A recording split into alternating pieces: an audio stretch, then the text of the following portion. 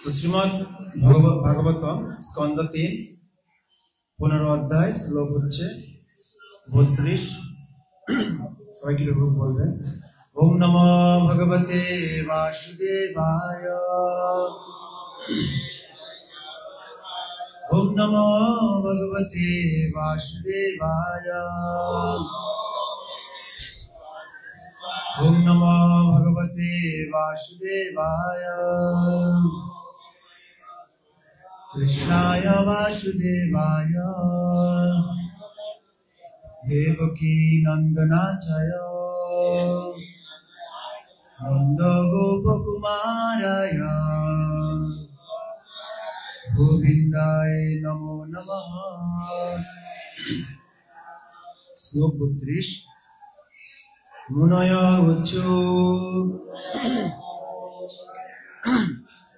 কোবামিত্তো ভগবৎ পরিচর্যাচ্চ শুদ্ধর্মিণম নিবসতাম বিষম স্বভাবः তস্মিन् প্রশান্ত পুরুষে গত বিগ্রহে বাং ভোবাত্মবদ্ভোপয় পরিসংকনীয়ः মুনয় উচু কোভামিতো ভগবৎ পরিচর্যয়াচ শুদ্ধমিনাম নিবসতাম বিষমে স্বভাবা তস্মিन् প্রশান্ত পুরুষে গত বিগ্রহে বা ভোবাত্মবদ্ভোপয় পরিসংকনীয়ः মুনয় উচু কোভামিতো ভগবৎ পরিচর্যয়াচ শুদ্ধবিনাম নিবসতাং বিষমে স্বভাবः তস্মিन् প্রশান্ত পুরুষে গত বিগ্রহে বা। ওবাবিভূতো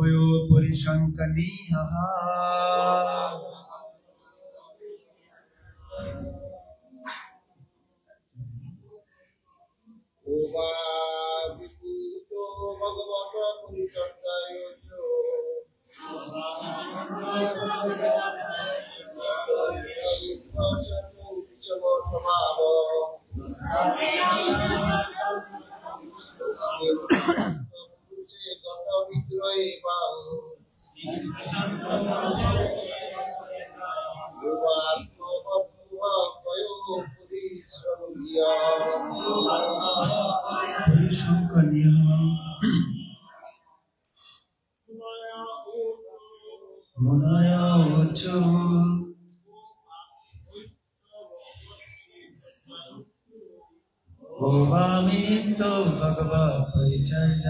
পরিচর্যয়াচ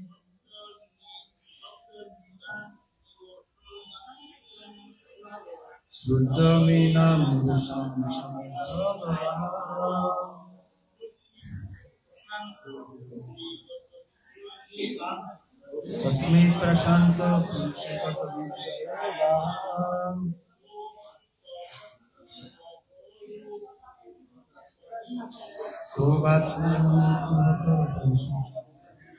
माताजी के भी बोलना माताजी के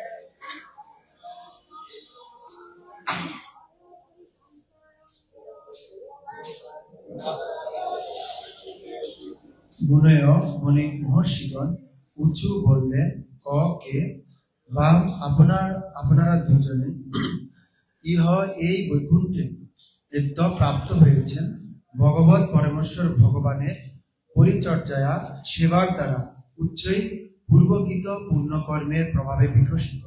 তৎ ধর্মীনাম ভক্তদের নিবসতাম বৈকুণ্ঠে বাস করে বিষম অসঙ্গীতিপূর্ণ স্বভাব অনুভব তস্মিন ভগবানে প্রশান্ত পুরুষে যিনি উদ্বেগ রহিত গত বিগ্রহে যার কোনো শত্রু নেই, বাম আপনাদের দুজন ক কে ভা অথবা আত্মবৎ আপনাদের মতো উভয় কপট মনোভাব সম্পন্ন পরিসংকনীয় বিশ্বাসের অযোগ্য। অনুবাদ, সবাই করে বলবেন।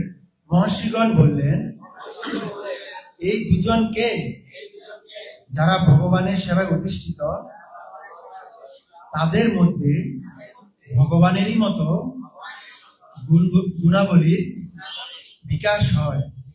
কিন্তু ভগবানের সেবার সর্বোচ্চ পদে প্রতিষ্ঠিত হওয়া সত্ত্বেও এদের এই ভীষণ স্বভাব কেন? এরা বৈকুণ্ঠে বাস করছে কীভাবে?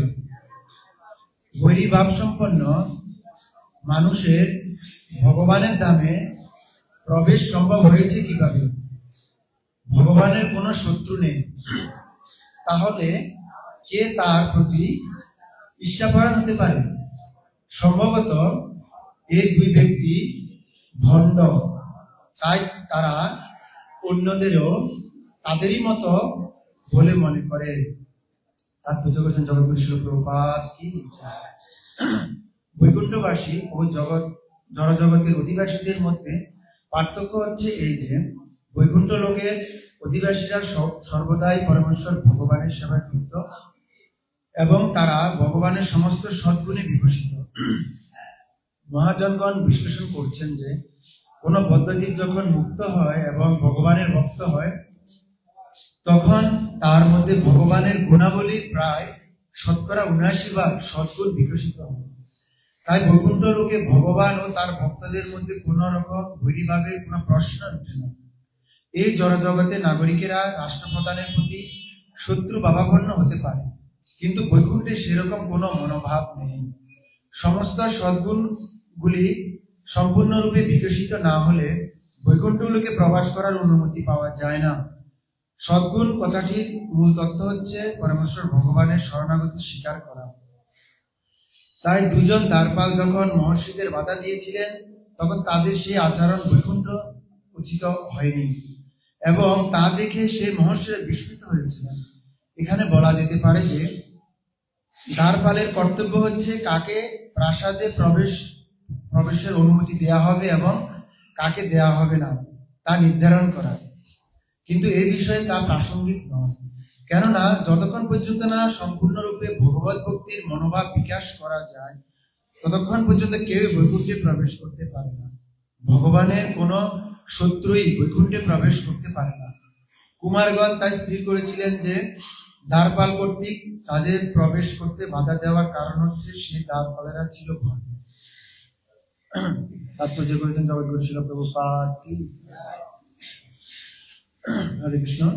তো আমার সামনে এখানে অনেক সিনিয়র বক্তব্য রয়েছে, মাধব মন্ডলী প্রভু, আমাদের অনেক শ্রদ্ধেয় গুরুজন রয়েছে এবং মাতাজিরা রয়েছে অনেক বৈষ্ণব বৈষ্ণবীরা রয়েছেন তো আমি খুবই হচ্ছে নগণ্য।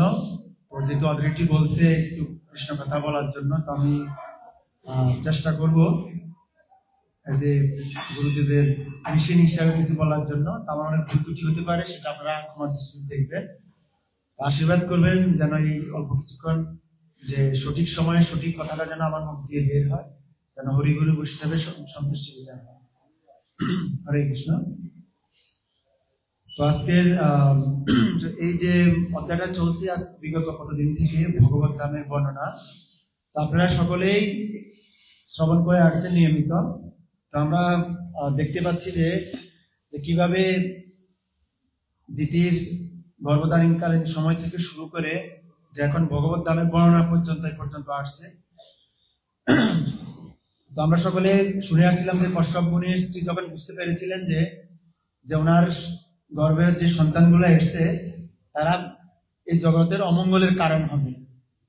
তো সেজন্য উনি গর্ব যে তারা যে ভূমিষ্ঠ হোক, এটা চাচ্ছিলেন না। কেন যে কদিন পেটে তাদের ওনার পেটে থাকবে, তারা এই পর্যন্ত কতদিন কি? অ্যাটলিস্ট পৃথিবীর মানুষ শান্তিতে থাকবে। প্রায় একশো বছর অনেক সময় অতিক্রান্ত হয়ে গেছে। পরে দেখছে যে না দেব দেবতারা দেখতেছে যে কি, যে যে যেহেতু দিদির গর্ভে তার সন্তানরা ছিল কে? পৃথিবীর সর্বশ্রেষ্ঠ যে অসুররা হিরণ্যক্ষ হিরণ্যকশিপু তারা কিন্তু পৃথিবীতে অন্ধকারাচ্ছন্ন হয়ে গেল।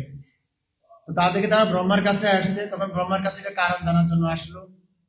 পরবর্তীতে ব্রহ্মা তখন উনি বলা শুরু করলেন যে কীভাবে এই বিষয়টা আসলো। তখন তার আগে উনি চলে গেলেন। তখন উনি ভগবত ধামে চলে গেলেন। ভগবত ধামের মহিমা সম্পর্কে বলা শুরু করলেন আর কি। তো উনি ভগবত ধামের মহিমা বর্ণনা শুরু করছেন। তো আমরা জানি যে ভগবত ধামের মহিমা উনি খুব সুন্দর করে ব্যাখ্যা করেছেন। ভগবত ধামের ব্যক্তিদের বা ওই জায়গার সেবকরা ভক্তের গুণাবলী কীরকম সেটা উনি বর্ণনা করছিলেন। ওই দেশ, ওই জগৎটা কীরকম? তো আমরা জানি যে ব্রহ্মা ব্রহ্ম সংহিতাতে উনি এরকম বর্ণনা করছেন ভ- ভগবত ধাম সম্পর্কে। তো এখানেও উনি বর্ণনা করছেন দেবতাদের কাছে। তো আসলে ভগবতামের মহিমা, যে ভগবত ধামের বর্ণনা অনেকে এই জগতে আমরা বিশ্বাস করতে চাই না বা অনেকে করে না।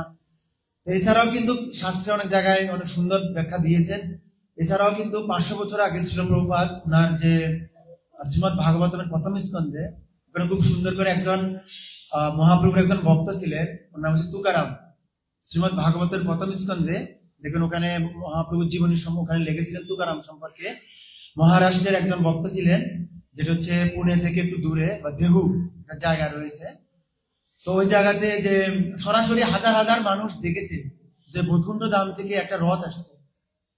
একটা রথ এসে একটা জায়গা আছে, ওই জায়গাতে রথ ওখানে এসে থাম- থাম- থেমেছিল এবং তুকারামকে ভগবত ধামে নিয়ে গিয়েছিল।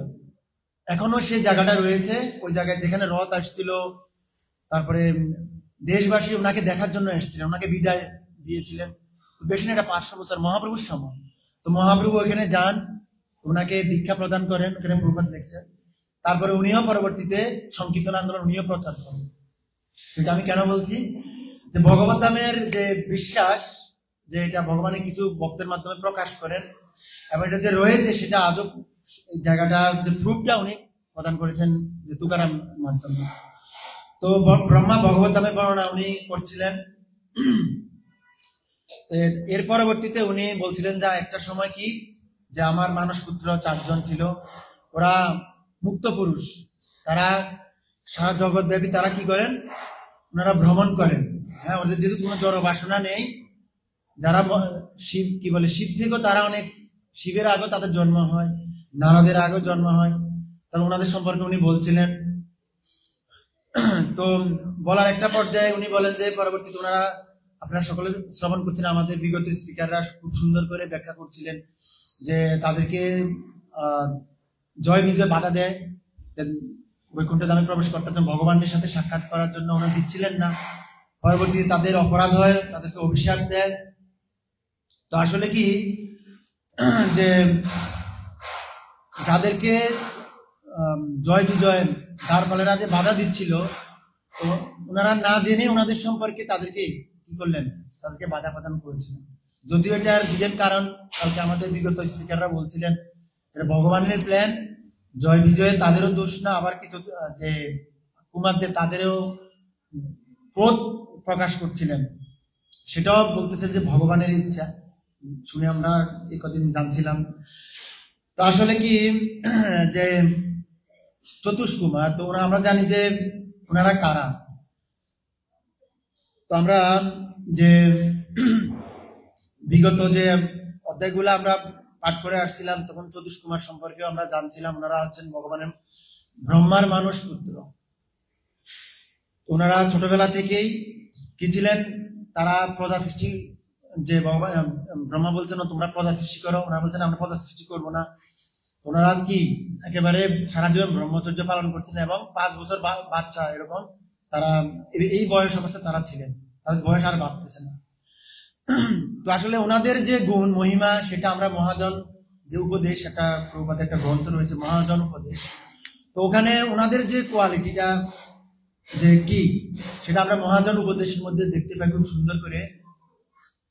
তো ওখানে আজকে তাত্ত্বিক শিলপ্রভাত এখানে যে শুদ্ধ ভক্তদের যে মহিমা, সেটা উনি লিখেছিলেন যে তাদের একটা সময় কি হয়? বলছে, ভগবানের মতো গুণ প্রকাশিত হয়, যারা বৈকুণ্ঠ ধামে থাকে, তাদের কি শতকরা উনআশি ভাগ, কত উনআশি ভাগ গুণ তারা সম- অর্জন করতে পারে? যারা বৈকুণ্ঠবাসী বা ভগবদ্ধামবাসী। তারপরে কারা প্রবেশ করতে পারে, কারা প্রবেশ করতে পারে না আজকে তার মধ্যে শিলপ্রভাত খুব সুন্দর করে ব্যাখ্যা করেছেন। তো আমরা জানি যে চতুষ কুমার তারাকে আমরা জানি যে আমাদের চারটা সম্প্রদায়ের মধ্যে একটা কুমার সম্প্রদায়। তো তারা যদি আমরা যে তারা আসলে কে, সেটা যদি জানতে চেষ্টা করি, তাদের মহিমাটা যদি আমরা একটু জানার চেষ্টা করি, মহাজন উপদেশে আমরা দেখি, ওনারা যে চারটা সম্প্রদায়ের কে চারটা সম্প্রদায় তাদের থেকে সৃষ্টি হয়। তারপর ওনারা দেখি দিগম্বর ছিলেন, সমস্ত জীবদের মধ্যে সবচাইতে ওনারা হচ্ছেন বৃদ্ধ ছিলেন বা অনেক বয়স্ক ছিলেন বা অনেক প্রবীণ ছিলেন। পাঁচ বছর, যদিও তোদের তাদেরকে দেখতে পাঁচ বছরের বালকের মতো। প্রভুপাত বলছিলেন যে আরেকটা তাৎপর্য তিনি উনি বলছিলেন যে, ভগবান সর্বদাই কুমারদের মতো মহর্ষিদেরকেও সেবা করার জন্য উনি ইচ্ছুক থাকেন। কে? ভগবান স্বয়ং সেবা করেন। তো তো মহাভারতে একবার যখন যে যুধিষ্ঠির মহারাজকে যখন যক্ষরা যক্ষ মহারাজ প্রশ্ন করেন যে, প্রকৃত পট কোনটা? তখন যুধিষ্ঠির মহারাজ যে উনি বলছিলেন যে, তর্ক প্রতিষ্ঠিত শ্রুত বিভিন্ন নাশ বিশি যশ মতঙ্গ ভিন্ন ধর্মস্ব তত্ত্ব নিহিত গুয়াহম মহাজনগত তো যক্ষ মহারাজকে তখন যুধিষ্ঠির মহারাজ বলছেন কোন পথটা আমাদের অবলম্বন করা উচিত? যে মহাজনরা যে পথ দিয়ে গিয়েছেন, সেই পথটা আমাদের অবলম্বন করা উচিত। তারপরে যে জমদূতেরা যখন যে আমাদের জমদূতেরা যখন যমরাজকে প্রশ্ন করছিলেন যে, এই জগতে আসলে কি নিয়ন্তা বা ধর্মতত্ত্ববেত্তা ব্যক্তি কতজন রয়েছেন? ওনারা কারা? দেখছেন যে ওনাদের, ওনারা যখন যে বৈকুণ্ঠের দূতদের দ্বারা ওনারা বিতাড়িত হলেন, তাদেরকে ধর্ম সম্পর্কে অজ্ঞ বলছিলেন চেষ্টা বা বকা দিলেন, তখন ওনারা যমরাজের কাছে আসে, যমরাজকে বলছেন, এই জগতে আসলে তত্ত্ববেত্তা সম্পন্ন ব্যক্তি কারা কারা? তখন উনি বলছিলেন কি? যে, স্বয়ম্ভু নারদ শম্ভু, কুমার কপিল মন, প্রহ্লাদ জনক ভীষ্ম বলি বয়ার সখীর অভয়ম তো বলছে কি, উনি দ্বাদশ মহাজনের কথা বললেন। কি? দ্বাদশ মহাজনের মধ্যে তখন একটা কার নাম থাকে কুমার। ওনারা হচ্ছে কি, যে জগতে যারা ধর্মতত্ত্ববেত্তা রয়েছেন, বারো জন মহাজন, তারা হচ্ছেন যে কে? এই কুমার সম- কুমাররা, ওনারা হচ্ছেন বারো জন যে মহাজন রয়েছে, তাদের মধ্যে একজন বা চারজন ছিলেন। তারপর উনি আবার বলেন, দ্বাদশ বিজানিম ভগবতা বটাহা, গুজ্জম বিশুদ্ধম দুর্বদ্ধম জম জ্ঞাতাম অমৃত স্মৃতে বলছে, না, এই দ্বাদশ মহাজন হচ্ছেন কি? প্রকৃত ভগবত তত্ত্ববেত্তা, যেটা হচ্ছেন, তারা প্রকাশ করছেন, তারা প্রচার করছেন, কি প্রেম ধর্ম, ভাগবত ধর্ম ওনারা কি করতেছেন? প্রচার করছেন। কারা? এ দ্বাদশ মহাজনরা বা এই কুমাররা। ওনারা হচ্ছেন এই জগতের মহাজন। তারা এই জগৎ জগৎ দেবী এই জগতের মঙ্গল সাধন করার জন্য বিচরণ করেন। তো কুমারদের সম্পর্কে খুব সুন্দর করে ব্যাখ্যা করতেছিলেন। তো আসলে কি যে আমরা জানি যে মহাভারত থেকে আমরা কি কি শিখি? গুড এবং ব্যাড। রামায়ণ থেকে কি শিখি? গুড এবং বেটার আর শ্রীমৎ ভাগবতম থেকে আমরা কি শিখি বলি? বেস্ট সবচেয়ে যে বেস্ট জিনিসটা, সেটা কোথা থেকে পাওয়া যায়? শ্রীমৎ ভাগবত অমল পুরাণ। এই ভগবত জ্ঞান, অমল পুরাণ, যেটার মধ্যে কোনো মল নেই, সেটা প্রেম ধর্ম। সেটা কে প্রচার করছেন? এই মহাজনরা। দ্বাদশ মহাজনরা। তো আসলে তারা কি বিতরণ করছেন? আমরা এই জগৎ ব্যাপী কি করতেছি? এই জনজগতের আমরা কষ বা যেটা মধ্যে কোনো টেস্ট নাই। আমরা সেটা কি কি করতেছি? চর্বিত চবানম চবানম আমরা এই জিনিসটা আস্বাদন করার চেষ্টা করতেছি। আর ওনারা এই জগতের মহাত্মারা, তারা কি করতেছেন? এই জগতের মানুষকে রস আস্বাদন করাচ্ছেন, যেন আমাদের কি, যে নিম্নতর রসটা আমরা ত্যাগ করে হায়ার টেস্টটা লাভ করতে পারি। তারা কি প্রদান করতেছেন?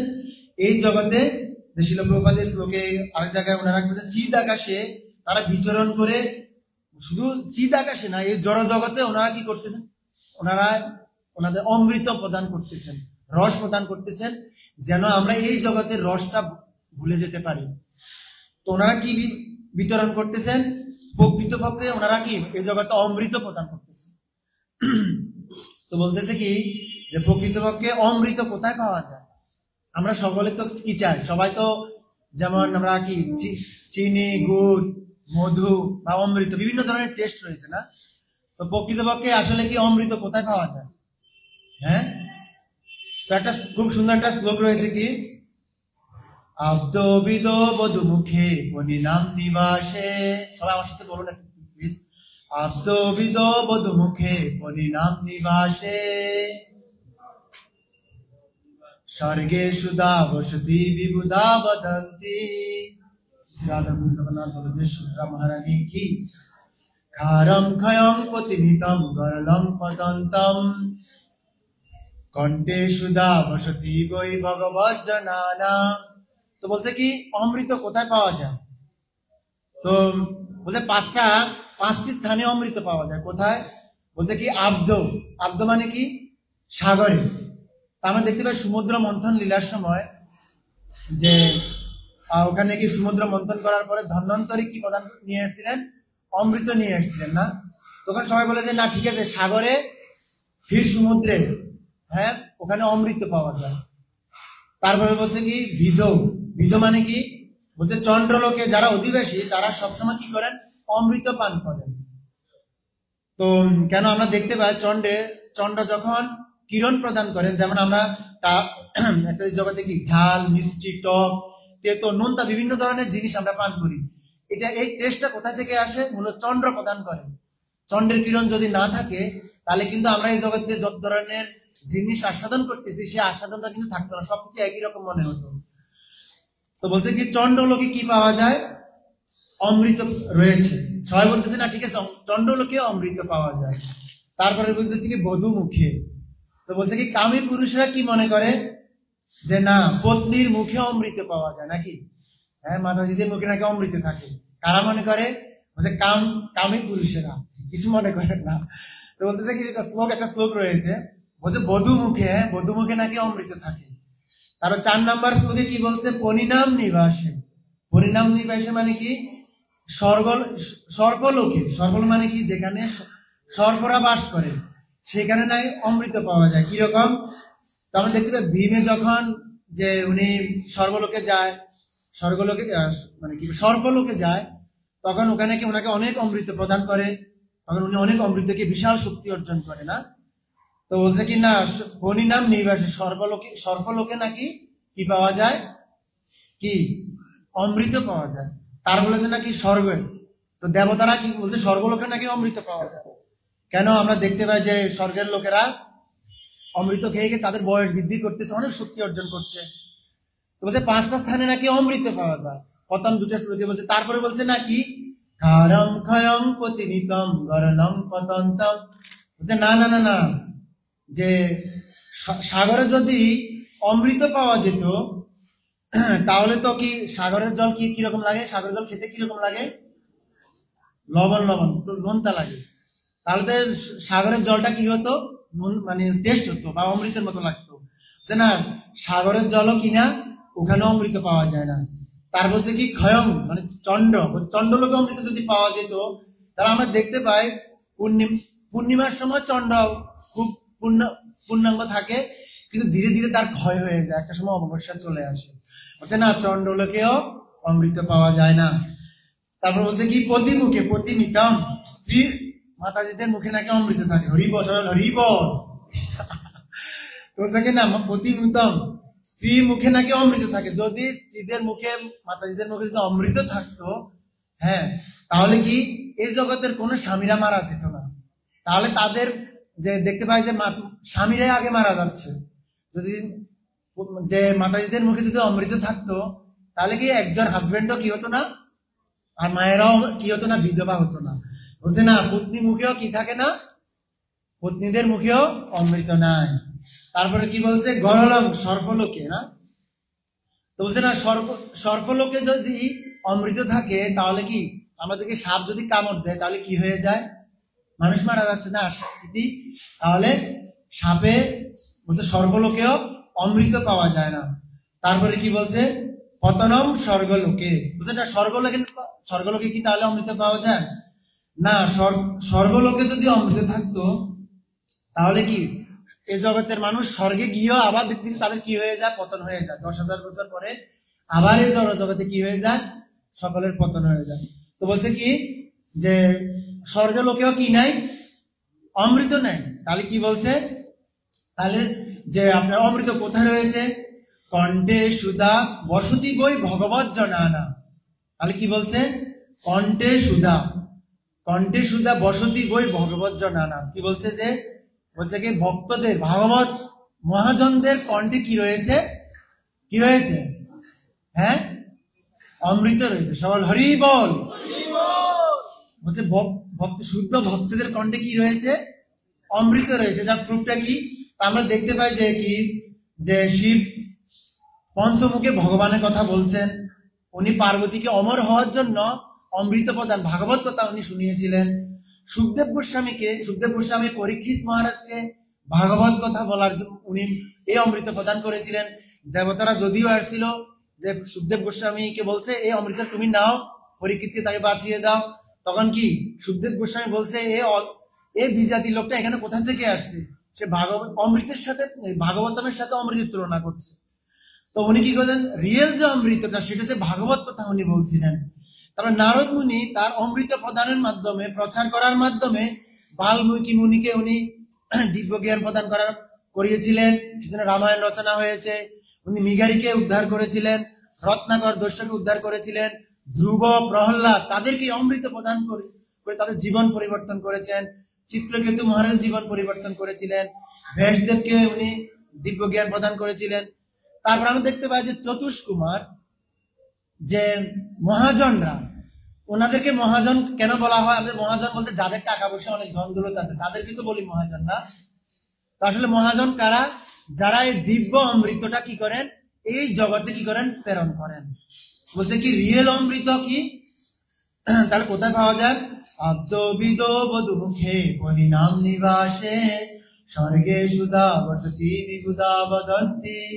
খারম ক্ষয়ং প্রতিমিতং দরলং পদন্তম কণ্ঠে সুধা বসতি বৈ ভগবত জনানাম তাহলে এই যে অমৃত কোথায় রয়েছে?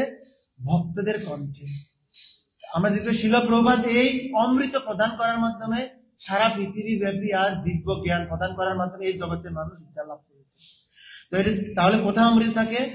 যে এই যে কুমার যারা রয়েছেন ভগবানের শুদ্ধ ভক্তরা তারা কি করছেন? এই জগৎ ব্যাপী অমৃত প্রদান করছেন। রিয়েল অমৃত? তো সেজন্য যে ভগবানও এই ধরনের যারা অমৃত প্রদান করছে যে ভগবানও যে উনি ওনার এই ধরনের শুদ্ধ ভক্তদের উনি সেবা করেন। শিলপ্রভাত একটা তাৎপর্য বলছেন।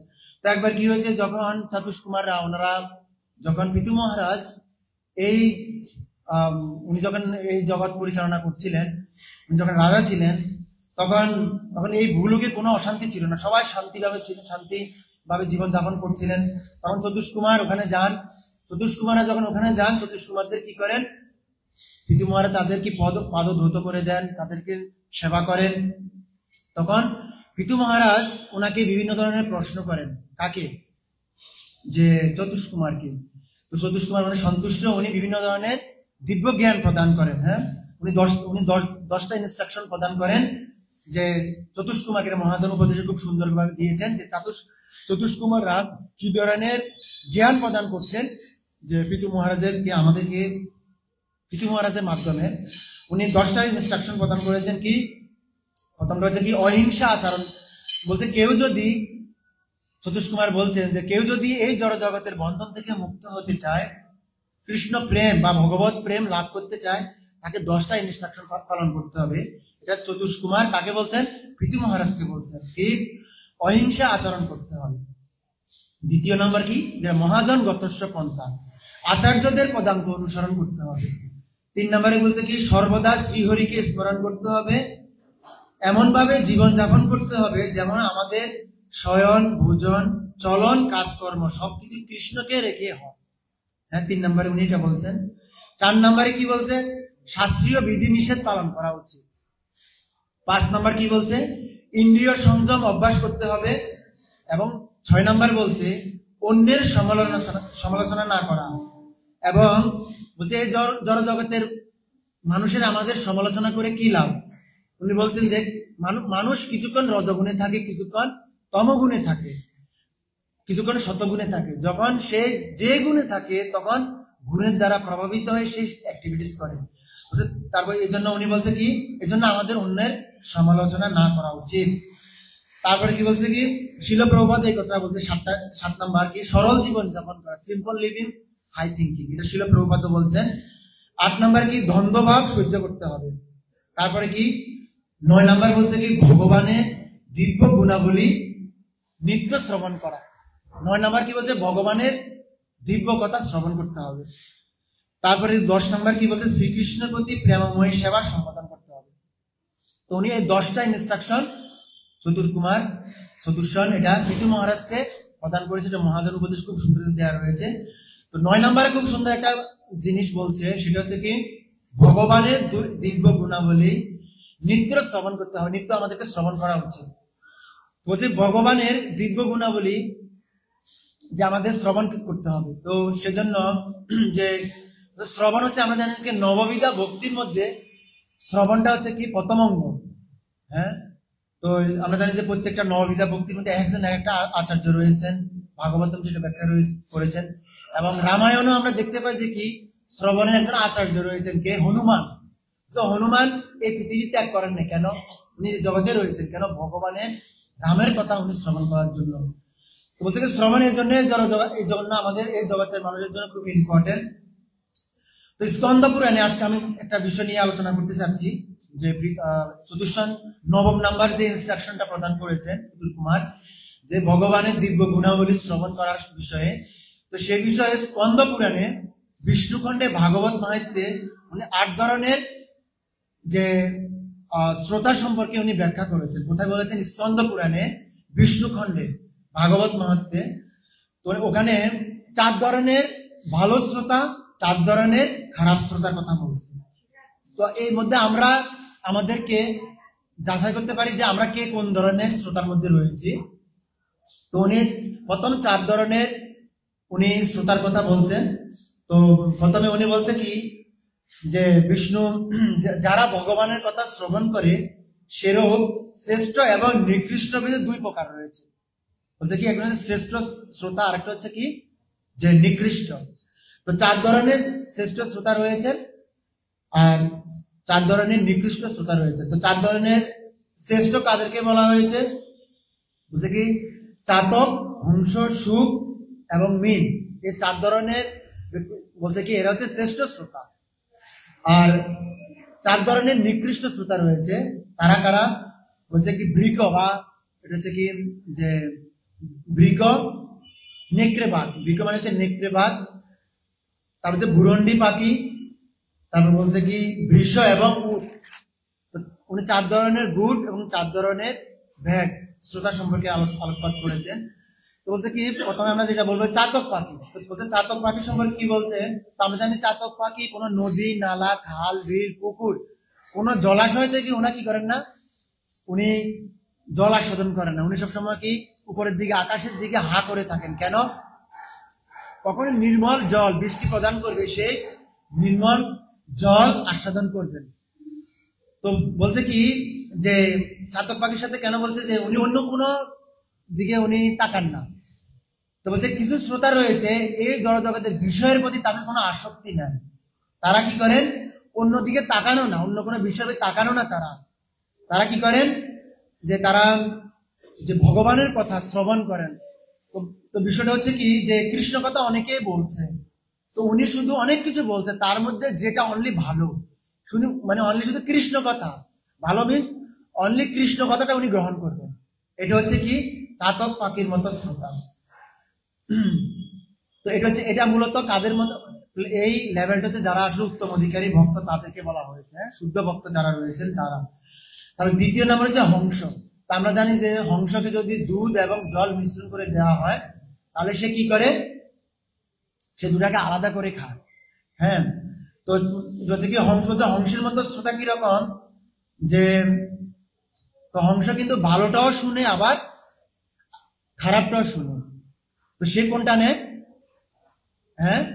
সে অন্য হংস ভালোটা নেয় তো আগেরটা বলছিলাম চাতক পাখি এটার সাথে এটা ডিফারেন্সটা কি? এটার সাথে এটা ডিফারেন্সটা কি? আগেরটা শুধু কৃষ্ণ কথা শুধু উনি নিবেন আর দ্বিতীয় নম্বর হংসটা হচ্ছে কি? যে উনি ভালোটাও শুনবে খারাপটাও শুনবে। কিন্তু নিবে কোনটা? হ্যাঁ? উনি ভালোটা নিবে, এটা হচ্ছে হংসের মতো। তো বলছে কি, এটা হচ্ছে কি হংসের মতো। তৃতীয় নাম্বারটা হচ্ছে কি? যে তৃতীয় নাম্বার হচ্ছে কি সুখ পাখির মতো। তো সুখ পাখির মতো এরা কীরকম তো বলছে কি যে সুখ পাখিদের কি হচ্ছে তারা সুষ্ঠ মৃতবাসী যাদেরকে পাঠক, শ্রোতাগণ মানে দেখে এই ধরনের শ্রোতাকে দেখে সবাই সন্তুষ্ট হন। কীরকম যে টিয়া পাখির, আমরা জানি যে অনেকে টিয়া পাখি বাজার থেকে কিনে নিয়ে যায়। কোন একটা জিনিস বললে, যেটা বলবে তাদের কি হয়ে যায় সেটা মাথায় গেঁথে যায়। আবার যা বলবে সেটা তাদের মনে মনে থেকে যায়। তারা ভুলে না কিন্তু সেটা। কি অনেক টিয়া পাখি আছে, যেটা বলুন হরে কৃষ্ণ। আর কোনো একটা কিছু কিছু বললে সেটা আবার হরে কৃষ্ণ সে মুখস্থ হয়ে যায়। তো বলছে সুখ পাখির মতো কি? যেটা বলবে সেটা তার মাথা গেঁথে যায়। এটা হচ্ছে কি? সুখ পাখির মতো। তো বলছে এই ধরনের একজন শ্রোতা রয়েছে। চার নম্বর শ্রোতা কীরকম চার নম্বর শ্রোতা হচ্ছে কি? মিন। মিন জাতীয় শ্রোতা। তো মিন জাতীয় শ্রোতা কীরকম শ্রবণটা যেমন মিনের কিন্তু আমরা জানি মাছ। এই মিন জাতীয় ক্ষীর সমুদ্রে পাওয়া যায়। কীরকম যেমন মাছেরা, তারা কিন্তু যে, তারা কিন্তু ঘুমায় না। মানে ঘুমায়, কিন্তু চোখ কি থাকে তাদের? কি থাকে? খোলা থাকে। তারা কিন্তু চোখ বন্ধ হয় না। তো দেখবেন অনেক শ্রোতা রয়েছে তারা কি করেন? যে, তারা কিন্তু চোখ মানে এরকম হা করে কি? মানে চোখ দিয়ে একেবারে স্পষ্ট ভাবে কি? তারা যখন কোনো ভালো একজন বক্তা কৃষ্ণ কথা বলেন, কোনো বক্তা কথা বলেন, চোখ দিয়ে মনে হয় যেন সে কি কথাগুলা গিলে ফেলবে। এরকম আছে না অনেক শ্রোতা? অনেক শ্রোতা রয়েছে। তারা হা করে এমন হা করে এমন তাকায় থাকে। তার মানে কি? সে মানে কথাগুলা মানে কি চোখ দিয়ে খেয়ে ফেলতেছে। তো হচ্ছে কি, এটা হচ্ছে কি মিনের মতো শ্রোতা। তারা কি করে? যে কৃষ্ণ কথা তারা এইভাবে শ্রবণ করেন। কথাগুলো তারা পান করছেন। তারপরে তারা অন্যান্য পাশাপাশি তারা কি করেন? কে কি বলছে? তার পাশে অনেকে আছে? কৃষ্ণ কথা বা পাঠের সময় কথা বলে হ্যাঁ? বিভিন্ন ধরনের কথা বলে, পাশাপাশি কথা বলে। তো মিনের তারপর কথা বলে না, কারোর সাথে কথা মানে মনোযোগ দেয় না। তারা কি? হা করে কৃষ্ণ কথাটা পান করতেছে। তো তো আমি এখন চার ধরনের ভালো শ্রোতার কথা বলছিলাম, যে যারা দৃষ্টি এবং তারা পূর্ণাঙ্গ মনোযোগ সহকারে কৃষ্ণ কথা শ্রবণ করে। তো এবার আমরা দেখব চার ধরনের যারা ভেট শ্রোতা তারা রয়েছেন তারা কীরকম তো প্রথমে বলছে কি, নেকড়ে ভাগ তো অনেকে আমাদের এটা বিশেষ করে কোনো ফেস্টিভ্যাল সময় বেশিরভাগ হয় এটা। তো অনেকে কৃষ্ণ কথা চলছে, অনেক চেঁচামেচি করে আশেপাশে। কেউ কৃষ্ণ কথা বলছে হ্যাঁ? আশেপাশে অনেক চেঁচামেচি করতেছে, এই লাগবে মানে বিভিন্ন ধরনের একজনের সাথে একজনের কথা বলছে, চেঁচামেচি। বলছে ব্রিকও বা এটাকে কৃষির সাথে তুলনা করা হয়েছে, নেকড়ে ভাগ মানে নেকড়ে ভাগের মতো হাও করে উঠে সবাই। আর বিভিন্ন ধরনের এর সাথে সাথে কথা বলে উঠে। তো এটা কি নেকড়ে ভাগ বা ব্রিকের মতো তো দ্বিতীয় নাম্বার হচ্ছে কি, ভুরণ্ড পাখি। তো ভুরণ্ড পাখিটা কি রকম? তো বলছে কি, ভুরণ্ড পাখি, আমরা জানি ভুরণ্ড পাখি, আমরা ছোটবেলা একটা ধর্মের শিক্ষার মধ্যে তাদের ভুরণ্ড পাখির কয়টা মাথা? কয়টা মাথা থাকে? দুইটা মাথা থাকে, আমরা ছোটবেলা ধর্ম বইতে পড়ছি না। তো একবার কি হয়েছে, একটা ফল আসতেছে দুটা ফল আসছিল। একটা মাথা কি করলে, খেয়ে ফেলছে। তো আরেকটা মাথা বলতেছে যদি তাদের প্যাট একই বলছে, আমাকে দাও। বলছে, আমি খাইছি তোমার তো হয়ে গেছে। এটা তোমাকে দিব না, এটা আমা- আমাদের স্ত্রীকে দিব। পরবর্তী দ্বিতীয় মাথা বলছে, ঠিক আছে, আমি এটা প্র- প্রতিশোধ একদিন দিব আরেকটা এরকম বিষ ফল যাচ্ছিল। যখন বিষ ফল যাচ্ছে, তখন ওই, সে কি করল? তার প্রতি ঈর্ষান্বিত হয়ে সে বলতেছে আমি এটা এটা পান করব। এই ফলটা আমি খাব। তখন সে কি করল? এই ফলটা নিয়ে এসে বারবার বলছে, না, তুমি খেও না, খেলে দুজনে মারা যাব। তো বলতেছে, সে কি করে? ওই বিষ ফলটা খেয়ে ফেলে। পরে দুজনেই মারা যায়। বলছে কি বুরন্ড ফাঁকির নেচারটা হচ্ছে কি, সে যে মানে কি বলে, তার মধ্যে একটা প্রতিশোধ মনোভাব থাকে বা মানে অন্যের কথা সে বলার জন্য সে আসবে এখানে। হ্যাঁ সে বলবে সব সময়, কিন্তু শুনবে না। আছে না এরকম কিছু? অনেকে শুধু বলবে, কিন্তু শুনবে না। তো এই ধরনের একজন কিছু শ্রোতা রয়েছে, তারা সবসময় বলবে, কিন্তু যে আম- অন্য কথা শ্রবণ করবে না। হ্যাঁ মানে উনি যখন বলার সময় উনি আসবে, কিন্তু অন্য বললে তখন সে শুনবে না। তো বলছে এটা ভুরন্ড পাখির মতো, মাথা কিন্তু দুইটা থাকে। এটা এক ধরনের লেভেল আমি বলছি না, কিন্তু আপনি আবার আমাকে ক্ষমা করবেন। রাজ স্কন্দ পুরাণে খুব সুন্দরভাবে ব্যাখ্যা করেছে। ভাগবত বক্তাদের মানে শ্রোতা এবং বক্তার সিমটম সম্পর্কে। তারপরে বলছে কি, তিন নম্বর হচ্ছে কি, কিসের মতো? বৃষ। তো বৃষ কি? বলছে কি, বৃষ মানে কি যে আপনি গো- গাভীকে বা বৃষকে যদি আপনি আঙ্কুর ফলও দেন এবং সরিষার খোসাও দেন, সে দুইটাই খাবে। আঙ্কুর ফল খুব ভালো জিনিস, আবার খোসা বিভিন্ন ধরনের বাকল খোসা দেন, সে সেটাও খাবে। তো এটা হচ্ছে কেন এটা বলছে? তো বলছে কি, বক্তা কিন্তু সবকিছুই কিন্তু বলে। অনেক ধরনের বক্তা, বক্তারা রয়েছেন। তারা বিভিন্ন ধরনের সম্পর্কে বিভিন্ন অ্যাঙ্গেলে কৃষ্ণ কথা বলেন। অনেক অনেক ভাবে বলেন, তার তার মতো করে। তো সে বিচার করে না। সে ভালোটাও শুনে খারাপটাও শুনে। কে বলছে? ব- বক্তা বলছে, সে বিচার করে না। এটাকে কিসের সাথে তুলনা করা হয়েছে? বিষের মতো, বৃষ বৃষ, গাভী হ্যাঁ গরুর মতো। সে আঙ্গুর ফলও খায়, আবার সরিষার খোসাও খায়। হ্যাঁ সে দুইটাই খায়। এটা হচ্ছে এক ধরনের শ্রোতা, তো এটা একটা কি? যে বিচার করে না। দুইটা যেটা পায় সেটা যা বলে তাই শুনে। কোনো বিচার নাই। অনেক আমরা দেখতে পাই এটা। আর হচ্ছে কি, চতুর্থ নাম্বার হচ্ছে কি, উট। এটা খুবই স্পেশাল এটা আমাদের খুব ইম্পর্টেন্ট সেটা হচ্ছে কি, যেমন অনেকে আছে, শ্রবণ করে শ্রোতা থেকে এমন একটা জিনিস নিবে মানে সে ভালো এতগুলো বলছে, একটাও শুনবে না। যেটা একটা খারাপ বলছে না, সুন্দর করে ভিডিও কাটসাট করে ছেড়ে দিবে এবারকার ভিডিও দেখো অমুক স্পিকার অমুক অর্গানাইজেশন থেকে, অমুক জায়গায় থেকে এরাই এটা বলছে। কিছুদিন আগে হয়েছে না আমাদের? বলে ছেড়ে দেয়। এটা হচ্ছে কি ধরনের শ্রোতা? উট- উটের মতো। বলছে উট। হ্যাঁ কেন? সে আমও আম খায় না। কেন? কারণটা কি? যে উট কখনো আম খায় না। কি খায়? সে নিম ফল খায়, নিম ফল। কাটা খায়। উট আছে কি খায়? কাটা খা বা নিম ফল খায়। আপনি আম দিবেন, ফল দিবেন, সে উট এগুলা খাবে খাবে না।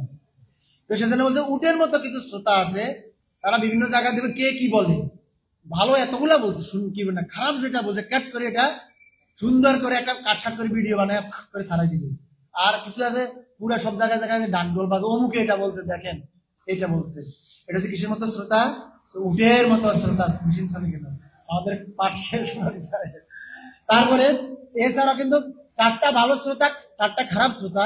এরপর মধ্যে বিশ নম্বর শ্লোকে লাস্টে তারপর দুজন স্পেশাল শ্রোতার কথা বলছে। এটা আরও মোর স্পেশাল টোটাল দশ জন আট জনের কথা বলার পরে পরবর্তীতে আরও দুজন শ্রোতার কথা বিশ নম্বর শ্লোকে কি বলছে? বলছে কি যে, একটা হচ্ছে হরিণ আর একটা হচ্ছে গাধা। বলছে কি, হরিণের মতো স্পেশাল দুজন শ্রোতা আছে। তখন হরিণ হরিণ কি করে? বাঁশি বাজাইলে কি করে সে? বলছে যখন ই করে যে বাঁশুরিয়া খুব সুন্দর করে বাঁশি বাজায় না? বাঁশি বাজানোর সাথে সাথে কি করে? সে দৌড় মারে। আর সাথে সাথে কি হয়? তাকে যে শিকারি কি করে? তাকে আটক করে ফেলে। তো কিছু কিছু সময় আছে যে অনেক অনেক জায়গায় কৃষ্ণ কথা অনেক ধরনের ব্যক্তিরা কৃষ্ণ কথা বলে। আমরা শোনার সাথে সাথে দৌড় মারি। মারি কিনা যেমন পদ্মপুরাণ একটা একটা শ্লোক বলছে কি, অবৈষ্ণব মুখত গৃহ্ণম উত্তম হরিকথা মৃতম শ্রবণম নৈব কর্তব্য সর্ব উদ্দিষ্ট যথাপ্রয়। বলতে সর্ব উদ্দিষ্ট কৃষ্ণ কথা শ্রবণ করলে বিষক্রিয়া হবে। তো অনেক ধরনের বক্তা রয়েছেন, ইউটিউবে বিভিন্ন জায়গায় বক্তা আছে। আমরা অনেক সুন্দর মোটিভেশনাল ক্লাস দেয়। শুনতে কিন্তু ভালো লাগে। সুসুরি আসে আমাদের বা খুব ভালোই তো বলল। খুব ভালো বললেন। শুনবেন আর মরবেন। গেলে কি? চেতনা কুলুষিত হয়ে যান। তো মহাপ্রভুর সময় একজন আছে কে? মুকুন্দ। উনি সব জায়গায় যেত। সব জায়গায় উনি তাল মিলাইত। কারণ মহাপ্রভু রাস্তা তুই এখান থেকে যা। মহাপ্রভু কি করল? বের করে দিল। দিয়েছে কিনা তো এই জন্য সব সব জায়গার কথা শোনা যাবে না দেখতে হবে আমাদের আচার্য গুরু পরম্পরা, আমাদের ইমিডিয়েট যে আচার্য রয়েছেন, তাদের কৃষ্ণ কথা শ্রবণ যদি করে, আমাদের কি হবে? হৃদয়ে আসবে। তারপরে বলছে কি এজন্য মোটিভেশনাল ক্লাস অনেক দেয় অনেক আছে, শ্রবণ করবেন, যদি বানো হরিণের মতো আপনি শুনবেন ক্রাশ হয়ে যাবেন। তারপর লাস্টটা বলে শেষ করে দিচ্ছি। সেটা হচ্ছে কি, গাধার মতো শ্রোতা। তো গাধার মতো শ্রোতা কি হয়েছে? বলছে কি, সে হচ্ছে, আপনি যা কিছু বলবেন, সে মনোযোগ সহকারে শ্রবণ করবে, ভালো কথা। লাস্টে বলবে, তাল গাছটা আমার। কি বলবে? বলছে ভাই, এই আপনি প্রভু এত কথা বলছেন। কথাগুলো কিন্তু অনেক সুন্দর। কিন্তু এগুলো ভাই আমি পালন করতে পারব। এগুলো আমার জন্য না। এগুলো আমার জন্য না হ্যাঁ? এগুলা আমি একদিন যদি ভগবান কৃপা করে, আমি পার করতে এক সময়। তো বলছে কি, এটা হচ্ছে গাধার মতো। এখান দিয়ে দিবেন, এখান দিয়ে বের হয়ে যাবে। তো এটা হচ্ছে কি স্পেশাল দুজন শ্রোতার কথা বলছেন। যে যেটা হচ্ছে কি, যা কিছু আপনি বলবেন তাল গাছটা আমার। যা কিছু করতে এরকম। আহ, ওই বলছে মতো শ্রোতা তো আমি যেন এই আসলে এই কথাগুলো আমি আমার জন্য বলছি আপনাদের জন্য বলি না যেহেতু ভগবানের কথা কীর্তন করাটা একটা ভক্তি। এটা আপনি এজ ইট ইজ রিপিটেশন করেন কোনো সমস্যা নাই। অনেক সময় বলে না ছোট মুখে বড় কথা। হয়তো আমার শুন কথাগুলো বলে ফেলছি। ছোট মুখ বলে না, ব- বড় মুখে ছোট কথা ছোট মুখে বড় কথা। তা আমার জন্য কি হয়েছে কি? আমি ছোট মুখে বড় কথা বলে ফেলছি। কথাগুলো আমি আমার জন্য বলছি। এটা কিন্তু স্কন্দ পুরাণে খুব সুন্দরভাবে ব্যাখ্যা করে যে দশ ধরনের শ্রোতার কথা বলছে। আমি যেন এগুলো পালন করতে পারি, এই জন্য এই জিনিসগুলো বলছে। এছাড়া উনি উৎকৃষ্ট কিছু শ্রোতার কথা বলছেন। এটা অন্য কোনো দিন যদি সময় পাই আমি আপনাদেরকে শেয়ার করব, সেদিকে আমি যাচ্ছি না। তো আসলে কি চতুষ কুমার বা আমাদের আজকে যে শ্লোকের তাৎপর্য, যেটা হচ্ছে শিলপ্রভুপাত, খুব সুন্দর শুদ্ধ ভক্তদের মহিমা। যারা রয়েছেন উনি কোয়ালিটি, ভগবত দামের যে ব্যক্তিরা রয়েছেন, তাদের মহিমাটা কি সেটা প্রভাত তাৎপর্য ব্যাখ্যা করেছেন। এবং তারা এই জগতে তারা অমৃত প্রদান করছেন, যেটা আমাদের গ্রহণ করা উচিত বা আমরা আমার আমার গ্রহণ করা উচিত। প্রভৃত শুদ্ধ শুদ্ধ ভক্তরা হচ্ছেন সেরকম। তার মধ্যে চতুষ্কুমাররা, তারা ভগবানের কথা শ্রবণ, কীর্তন করার জন্য এই জড় জগতে এবং চিদাকাশে সব জায়গায় ওনার পরিভ্রমণ করেন। এটা হচ্ছে চতুষ্কুমারদের স্পেশাল কোয়ালিটি যেটা মহাজান উপদেশে উনি খুব সুন্দর করে ওখানে ব্যাখ্যা করেছেন এবং ভাগবতম ব্যাখ্যা করেছেন। এই জন্য তারা ভগবানের কথা শ্রবণ কীর্তন করার জন্য তারা সারা জীবন, তারা পাঁচ বছরের বাচ্চা হিসেবে তারা থেকে গেছে